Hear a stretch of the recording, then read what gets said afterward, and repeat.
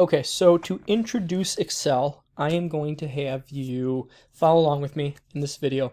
Just to note, it will look slightly different than mine because I'm on a Mac right now and you're going to be on a PC, but you're pretty much going to follow the same steps. So follow along with me here as we go through and I'll kind of get you set up to work on your pixel art.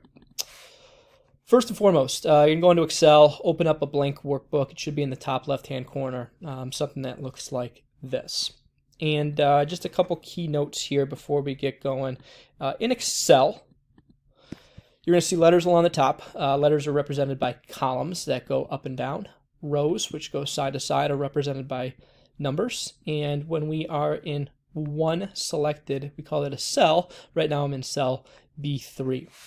You're going to see your mouse be able to select a couple different ways based on where your mouse is positioned in your cell.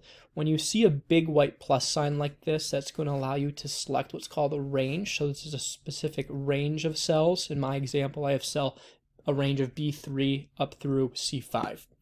If you put your mouse on the edge of it, not a PC, it's going to be a black double pointed arrow. You can move that cell around. And then eventually we'll get to this, but if you put it on the little green dot in the corner, it's going to end up being a black plus sign where you can autofill specific data and formulas. But we're not going to worry about that too much right now. What we are going to create today is something that is called pixel art. So we're going to work on resizing our cells and using our paint bucket tool. Here are a bunch of examples. If I move in on these and just kind of show you, each of these is its own individual cell, uh, colored separately. Obviously, some of these are a little bit more complex than others. So the you know big dragon there, or the Brian, or the Stewie, or the Goofy are going to take a little bit longer than maybe the French fry or the uh, Spider-Man might. So what you'll do in your Excel workbook is up in the top left hand corner, you're going to click right up here between the A and the 1, and that's going to allow you to select everything in the workbook. So we're going to select that, and then you're going to right click on any column. I don't care which column it is. We're going to right click and select column width, and we're going to change the width to 2, and then go ahead and click All right, now you'll notice your cells are more closely resemble little squares. And then you can kind of watch me here and then I'm gonna let you go off and do your own. What I'm gonna do is I'm gonna go out on the internet and I am going to search for pixel art simple or pixel art easy. Um, we're going to start with an easy one, then you're going to go to one that's a little bit more complex. And make sure that as you're picking a picture, it's something that has like these grid lines on it, so it's easier to count versus something like this where it's going to be hard to count. And uh, we'll start with a simple one. Maybe don't pick this heart, find something else. We're going to copy the image, so I'm going to right click on that and hit copy.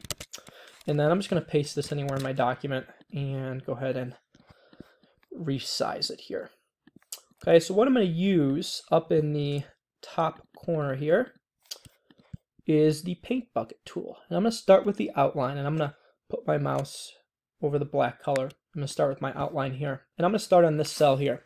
And what I'm actually going to do is I'm going to use the arrow keys on my keyboard to move around a little bit versus always using my mouse. And uh, I'm going to start right here. I'll just count down two. So I'll go one, two. And you'll notice that my mouse isn't really leaving the paint bucket. Um, I'm just kind of following the pattern that I see up here. Um, let's say I make a mistake on accident. I could either undo that action or over here on the right, I could simply uh, clear the format of the cell as well. But I'll do the outline here. We'll get our little indentations. Okay, so I got the outline of my shape done, and then now I need to fill in the middle. It would kind of take me a long time if I wanted to do each of these individually. So what I'm going to do is I'm going to select a range. And I can do it that way. Or if I hold down the control key on my keyboard, I can select multiple ranges at once, like this, and fill things in a little bit easier. And we'll kind of finish this off with a little white. Go white there. All right, and there's my pixel art. I can just delete that picture from here, and I have one done. So I'd like you to start with an easy one, move your way up to maybe one that's a little bit more complex, like the ones that you see in my examples here, and just save this into your H drive. I look forward to seeing what you come up with next class.